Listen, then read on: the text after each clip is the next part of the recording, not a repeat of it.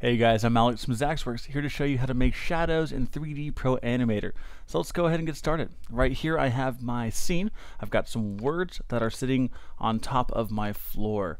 All they are is they're positioned higher up than my floor. Pretty simple. So what I'm going to do here is I'm going to create a light and tell that light to cast shadows.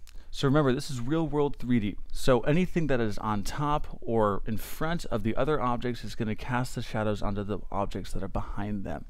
So let's go ahead and create a light. So first off, if we create a light just like this, notice our lighting in the scene has completely changed. We don't want that. Instead, we want the exact default lighting that we had before. We can do that. Let's go ahead and delete this light just by going up here to our lighting rigs, take this default lighting one and drag that onto our scene. So now notice that I have a light that is exactly the same as before, three lights actually, exactly the same lighting as before, except now I can manipulate those lights. So what I'm going to do is I'm going to go down here to my lighting workspace. This is where we're going to work to create all of our shadows. Select our light one, and notice this is, this is the light that is uh, casting the light onto the front of our objects. And so I'll go to turn that on, come down here and turn on shadow casting. And right there, notice over here we had shadow casting, turn that on, we now get real shadows um, being casted from our words onto our floor. Pretty simple, nice and easy, just like that. So look at those, nice looking shadows. If you are not seeing these, please come up to the top menu bar. If you're in the standalone, click on 3D Pro Animator. If you're in the plugin, click on the help and you will see this preferences option. And the preferences option, make sure that show shadows in draft mode is turned on. If this is not turned on, you will not see the shadows in draft mode. This is turned off by default just for rendering speed. It can slow things down if you have too much in your scene, so just make sure that if this is turned on and your scene starts to go a little bit slower, you can turn this off for faster rendering time. Go ahead, click OK, and now we can see our, everyone should be able to see their shadows. Let's go over here to our object controls, our light settings, and see what we have to work with. So the first thing we have is our darkness. We can take it softer to darker. Pretty simple. You know, dark shadows, soft sh light shadows. Other thing we have is softness. This is for the edges of the shadows. If I take it super low, notice we have very sharp shadows. And if we take it super high, notice we have very soft, rounded shadows.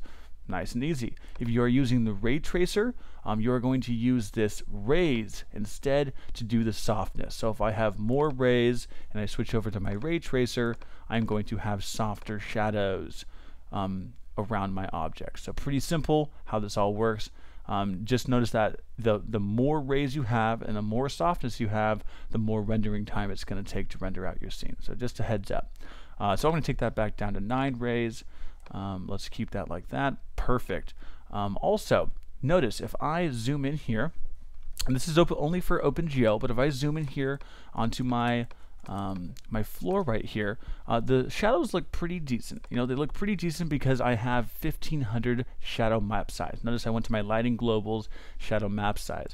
And if I take it down to 500, notice my shadows don't look as nice. Actually, let me go ahead and just delete this material delete that material and notice you can really see it now. You see how how bumpy that looks very pixelated? That's just because of the map size. Um, the smaller map size the faster rendering time.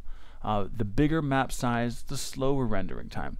Uh, that's all it comes down to. But the nicer it's going to look if it's a bigger map size. So if you're like zoomed out, you probably can't even tell. Probably actually 500 isn't good. So let's go like 1500. You can't really tell a difference. But if you're super zoomed into your shadows and you can see the difference right there, let's go ahead and bump it up to 4000 and you'll see it looks so nice and smooth. Um, that's, however, just keep in mind also, it's going to slow things down. So if you want to just bump it up to 4000 just for your final render, that's what I recommend.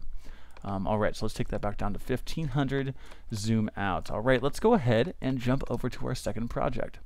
All right, so here in our second project, notice I have some words right here, and I have a back wall. That's all I have going on in the scene. I'm going to head and cast my shadows from the words onto the back wall.